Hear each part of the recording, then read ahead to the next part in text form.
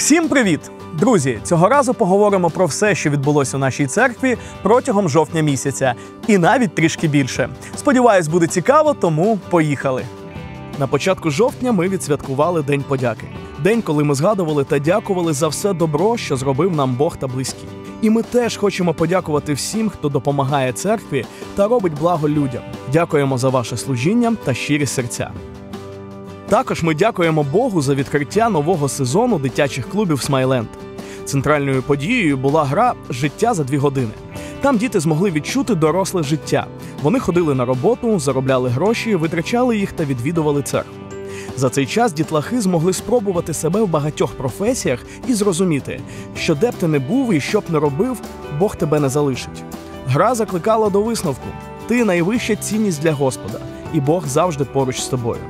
На клубі, завдяки команді з 30 людей, ми послужили 80 дітям.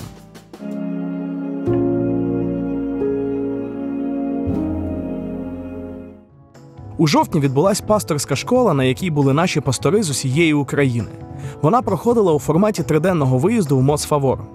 У програмі було інтерв'ю з Пилипом Савочкою, панельна дискусія на тему церква і війна, молитва за Україну, вечір хвали і поклоніння, спілкування та новий досвід.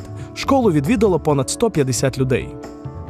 для того, щоб пастори нашого об'єднання могли приїхати, перезнайомитися, поспілкуватися, разом повчитися, помолитися і відчути себе однією сім'єю. ці відкриття, ця мудрість, яка лунає зі сцени, це настільки все корисно, і воно дійсно воно поселяється, воно запалює, воно вдохновляє. Ну і звісно, вже відчувається таке обновлення і новий погляд на служіння. Бог послужив, дав відповіді, що весь цей рік одне слово радість. І знаєте, коли пастир молився, благословляв, я прийняла це.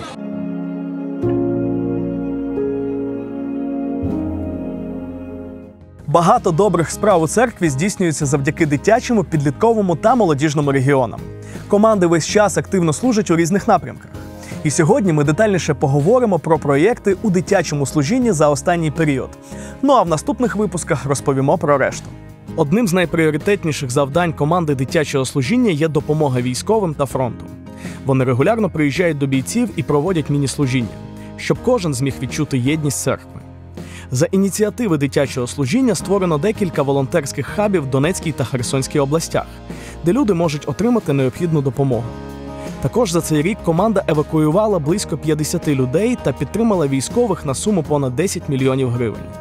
За останній час євангелізація в дитячому служінні проходила в форматі табору, зустрічей після нього та клубів. А також 4 місяці тривав проєкт для допомоги дітям ВПО. Метою команди було надати підтримку тим, хто переїхав та пережив труднощі. Діти народжені для життя в безпеці і рости в мирі і любові. І саме цього зараз не вистачає.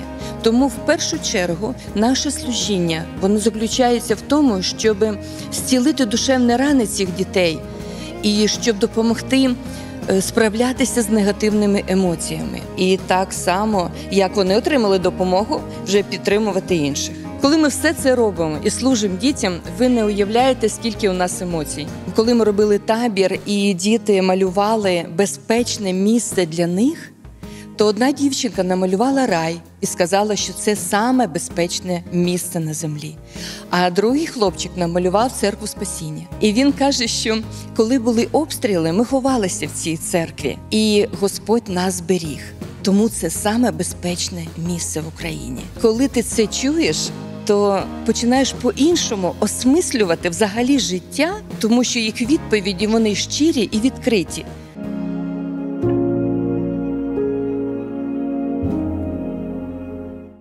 У жовтні, завдяки водному хрещенню, переходу та відновленню до членів церкви приєднались 32 людини. Вітаємо вдома! Ну а в наступному блоці поговоримо про матеріальне та гуманітарне служіння. Ми послужили 345 членам церкви продуктовими наборами. 70 пайків передали переселенцям та людям з інвалідністю Вишнівської ОТГ. 40 родин переселенців отримали миючі засоби та пральний порошок. 70 переселенцям допомогли речами та взуттям.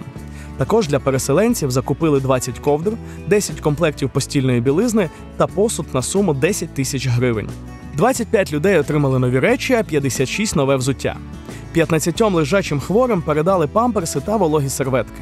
50 сімей з маленькими дітками отримали допомогу для малечі, памперси, засоби гігієни та дитяче харчування.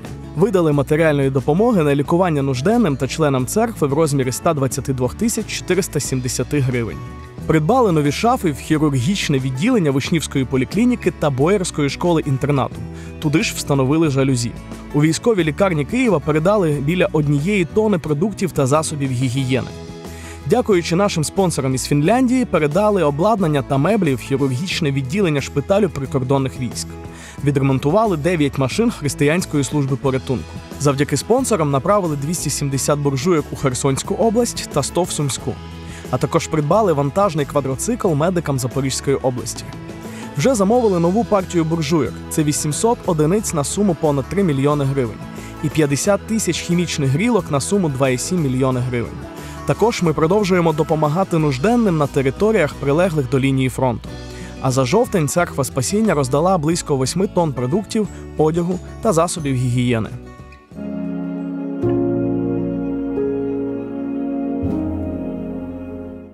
Це були всі події, якими ми хотіли поділитись. Друзі, хочемо іще раз подякувати за добрі справи, чудові заходи та масштабні проекти. Бо все це існує завдяки нашим спільним зусиллям. Тому дякуємо за десятини, молитви, служіння та любов, якою ми ділимось одне з одним. Бажаю рясних Божих благословінь і побачимось вже за місяць.